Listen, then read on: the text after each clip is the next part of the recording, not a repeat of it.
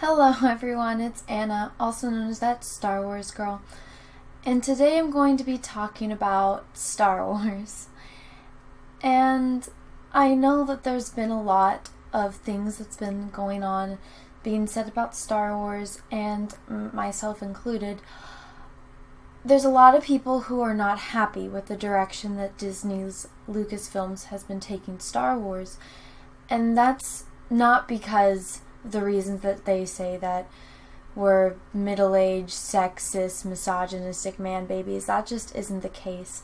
And the fact that they keep saying that, and the fact that it's not true, it's just so much more upsetting because by them accusing us of those things without taking the time to listen to us and what we're saying, they don't hear. They claim to listen and to take things into account, but they're not. I do what I do here on YouTube, and I've continued to do it because I love Star Wars. Because Star Wars to me is the world is like a dark tunnel, and Star Wars is the light at the end of that tunnel. It what it's what gets me through rough situations. You know, life is hard it's always going to be hard. There's always going to be something going on that is another obstacle for you to overcome. And Star Wars is that happy escape. It takes you to a galaxy far, far away. And Luke Skywalker teaches you the journey, a hero's journey, and how to be a good person, how to be a Jedi Knight.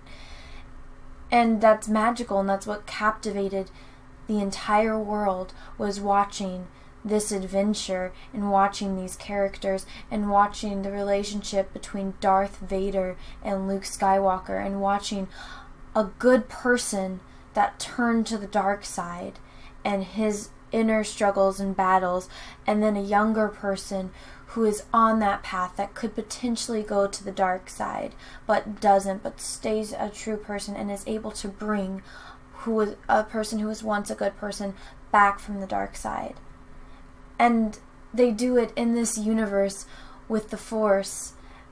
And it's magical and it's captivated the entire world. And so watching something that powerful and now it's been taken and marketed and used and then the characters that made it what it was they're told that they're no longer important that people don't need to look up to them, that girls are incapable of relating to Luke Skywalker because he's a boy. But as a girl growing up, it didn't matter that Luke Skywalker was a boy. Luke Skywalker was a good person and he wanted to do something with his life and he took everything in him to become a Jedi and he struggled and he worked hard for it and at the end he got what he wanted he became a Jedi Knight and he did have to sacrifice a lot to get there. And it's that journey that captivated me and drew me to Luke Skywalker. And Darth Vader, also a guy, was my favorite character. It didn't matter that he was the bad guy. He was a very intriguing and captivating character. And every moment that he was on screen, his presence demanded your attention. And I was drawn to Darth Vader. It doesn't matter what their gender is. I could care less about that. The fact is that they were relatable characters, even though they were in a galaxy far, far away that is nothing like the world that we live in here on Earth. It doesn't matter. You can still tell a story that pushes across a message, which is the battle between good and evil and what it means to be a good person. And it doesn't have to have these ideals shoved down your throat. They do it in a way that is appropriate, and that's why Star Wars was so successful. And to see what's happened to Star Wars and what they've done, and the fact that they say, you know, they're not important anymore. We need to push them away to make room for these new characters. Well, if you're going to do that, then you need to make these new characters as important as you made the old characters. And that's not by taking them and putting them in the center of the screen and saying, this person is important, pay attention to them. No, it's by showing them and showing their journey and showing the things that they overcome. And that's why these new characters have gotten a lot of backlash. It's not because people like me went into the theater expecting to hate it. No, I went into The Last Jedi excited. I was so optimistic and I was so excited to see Luke Skywalker. I was so excited to find out who Rey was. As much as I do not like the character of Kylo Ren, I was hoping, hoping that he would redeem himself in this movie and it would explain the actions of the first movie, but no. Instead, it took everything that Star Wars was and it destroyed it. And it broke my heart because I love Star Wars and I don't want to see it get used like this. I don't like what's happening to Star Wars. That's why I continue to make videos because Star Wars is in my very blood, and people can say what they want. You can say that it's just a movie. If it's just a movie to you, then it's just a movie to you, but it's not just a movie to me. And other people don't get to tell you what is important to you because they don't know who you are. Just like people that come on here and say that stuff to me, they don't know who I am and they don't get to justify what they think should be important to me in my life.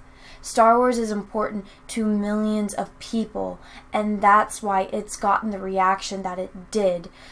You didn't see that in The Empire Strikes Back when everyone found out that Darth Vader was Luke's father. People didn't say this is the worst movie ever made and, you know, I'm never going to watch Star Wars again. No they continue to watch Star Wars. It gained support, and it wasn't, you know, a slap in the face to fans. It was, this is a monumental event that's happening in this movie and it's critical to the plot whereas the last jedi it intentionally took things that were in place and pushed them to the side to push a different narrative that isn't Star Wars.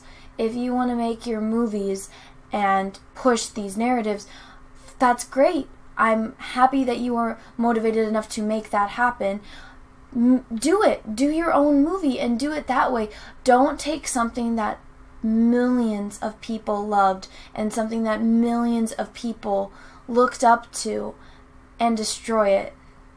There's so much hate going on in this world that I don't see the point in wrecking something that gave everyone so much hope.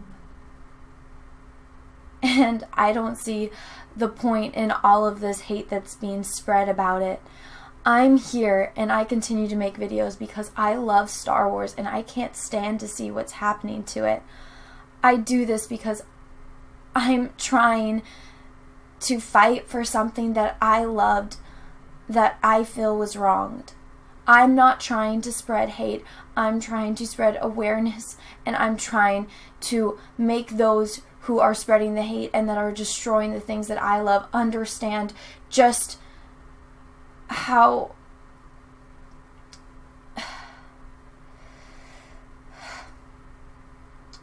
just how their actions hurt a lot of people. And I don't think they're aware of how significant the little things are that they are doing. Because something that is just a grain of rice to some person it means the entire world to someone else. And that's all I'm trying to do. And I'm just trying to fight for something that I love because I can't stand what's happening to it. Well, sorry for being such a Debbie Downer, but that's just how I'm feeling, and I know that's how a lot of people are feeling. So, everyone, have a great rest of your week, and may the force be with you because we are going to need it.